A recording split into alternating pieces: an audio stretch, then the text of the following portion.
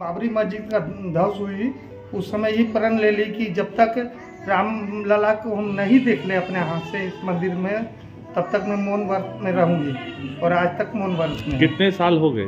करीबन तीस साल हो गए। अब इनका मौन व्रत कब टूटने वाला है? बाईस के बाद देखे। बाईस को।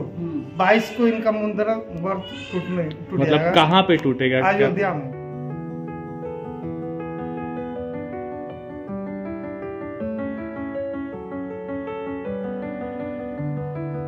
बुलावा इनको आया। हाँ नित्य गोपाल दास जी के सामने ही खुलेगा उनके शिष्यों के सामने। ये उनको बुलावा आया है क्या अयोध्या से? अयोध्या से जो नित्य गोपाल दास जी के शिष्य द्वारा इनको बुलाया गया है।